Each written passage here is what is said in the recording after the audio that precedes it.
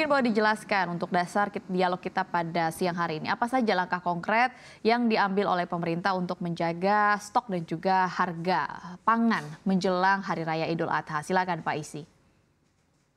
Terima kasih Mbak Dina. Jadi eh, berdasarkan pantauan yang kami lakukan eh, SP2KP di Kementerian Perdagangan, ini memang eh, tadi senada seperti yang sampaikan Mbak Dina bahwa eh, beberapa komoditas barang kebutuhan pokok ini memang mengalami justru mengalami penurunan. Jadi eh, kita lihat memang baik dibanding eh, minggu lalu maupun bulan lalu ini memang terjadi penurunan. Bahkan ada beberapa komoditas yang uh, harganya tuh di bawah harga acuan.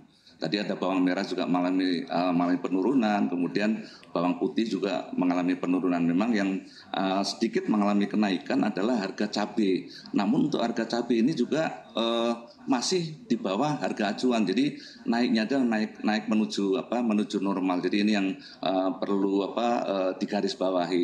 Uh, kemudian langkah-langkah apa yang kami lakukan? Uh, tentu yang pertama adalah kami melakukan uh, monitoring secara secara masif menjelang hari khususnya menjelang hari apa perayaan Idul Adha ini uh, tentu bersama kementerian-kementerian terkait dengan dengan KL terkait bahkan Pak Menteri juga beberapa waktu ini kemarin baru minggu ini juga melakukan kunjungan apa ke pasar ke Semarang, kemudian minggu lalu itu ada ke Semarang dan ke Cilegon. Jadi kalau dilihat sama sebenarnya harganya baik secara apa kunjungan per pasar maupun uh, pantauan yang rata-rata kami kumpulkan berdasarkan uh, harga pantauan di 511 kabupaten kabupaten kota di 38 provinsi seluruh Indonesia. Jadi ini masih uh, cenderung. Kemudian yang kami lakukan yang kedua adalah berkoordinasi karena sesuai dengan apa berdasarkan uh, peraturan presiden nomor 66 tahun 2021 ini yang punya kewenangan adalah Badan Pangan Nasional. Nah, untuk Kementerian Perdagangan untuk terkait dengan stok, kebijakan stok dan uh, stabilisasi harga ini berfokus pada tiga komoditi yaitu terigu, kemudian apa tepung terigu, kemudian harga ikan dan yang satu lagi ada harga minyak goreng.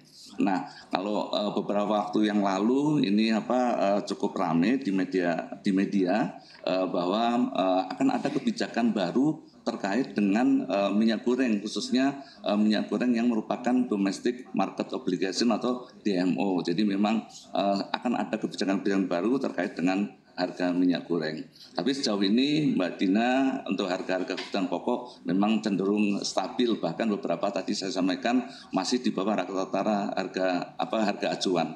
Itu Mbak Dina. Oke baik. Lalu meskipun tadi kita sudah melihat begitu ya, memang ada harga beberapa harga komoditas pangan yang stabil, tapi ada juga yang naik. Eh, rata-rata kenaikannya adalah uh, di sekitar 0, satu persen begitu kalau menurut website Bapanas. Tapi saya ingin bertanya kepada Pak Isi begitu, bagaimana pendapat Anda berkaitan dengan di mana pada saat ini kan daya beli masyarakat sedang terpukul. Salah satunya adalah sebenarnya yang dikeluhkan adalah harga-harga eh, kenaikan harga-harga bahan pangan di level masyarakat begitu yang harus kita akui terjadi.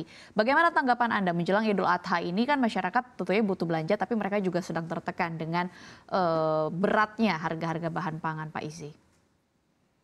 Ya, nah ini yang memang uh, apa dengan kondisi Indonesia itu di samping sebagai apa uh, konsumen juga sebagai produsen untuk komoditi-komoditi khususnya komoditi horti. Jadi memang harus dijaga keseimbangan antara hulu dan hilir gitu. Jadi uh, kalau nanti harganya terlalu murah tentu kita akan uh, apa berhadapan dengan uh, para produsen, petani, peternak dan dan lain sebagainya sehingga uh, perlu dijaga keseimbangan antara hulu dan hilir. Dan yang terjadi menjelang hari lebaran seperti kami sampaikan tadi untuk yang naik itu memang ada kenaikan sedikit tadi antara 0, ini sampai dengan satu itu untuk komoditi cabai.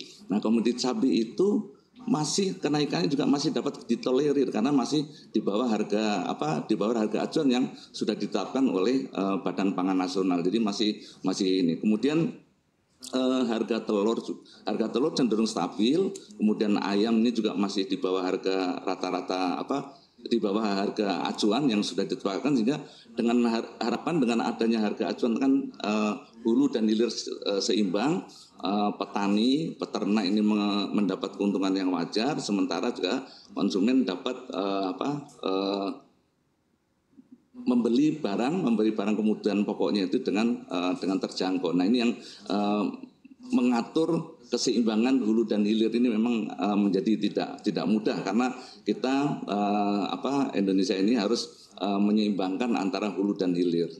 Nah, kemudian untuk komoditi-komoditi yang uh, tadi mengalami kenaikan seperti yang apa terjadi adalah gula. Gula ini memang mengalami kenaikan memang karena uh,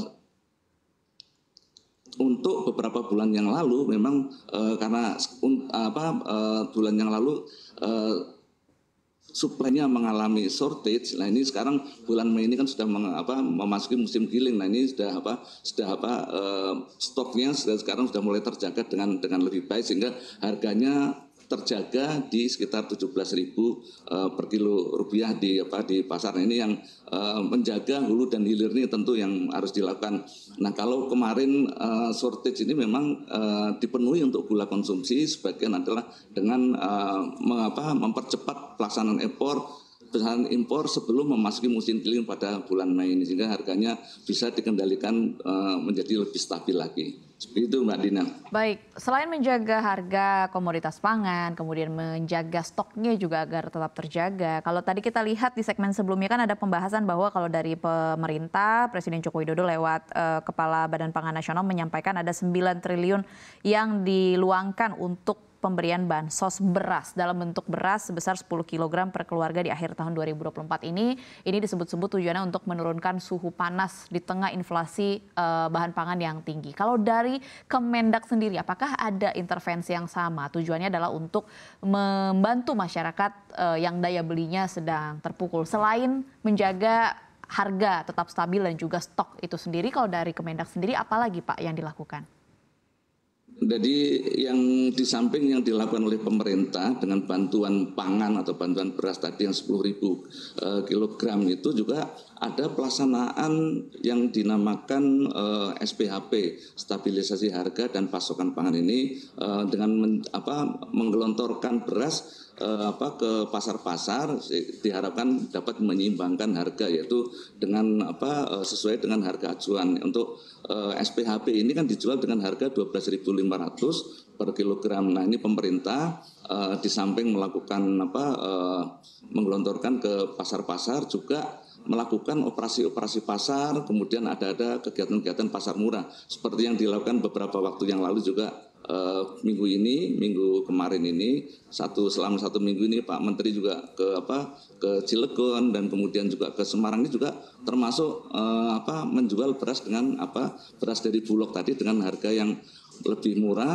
uh, untuk uh, supaya masyarakat bisa memperoleh harga dengan yang lebih terjangkau. Jadi ada kegiatan-kegiatan uh, pasar murah, kemudian operasi pasar dan lain sebagainya. Tentu ini juga diimbangi dengan kegiatan-kegiatan yang dilakukan oleh teman-teman dari daerah melalui dinas-dinas baik dinas ketahanan pangan maupun dinas yang bidang industri dan perdagangan dengan pasar murah, kemudian uh, apa ada bantuan subsidi uh, tanda kutip pada studi ongkos angkut apabila memang diperlukan. Nah, untuk uh, hal ini karena uh, pemerintah melalui apa uh, Impres ini sudah menetapkan bahwa uh, pemerintah daerah dapat menggunakan maksimal 2,5 persen dari belanja tak terduga untuk kegiatan-kegiatan yang sifatnya dalam rangka pengendalian inflasi termasuk di dalamnya untuk pasar murah dan sebagainya. Seperti itu Mbak Dina.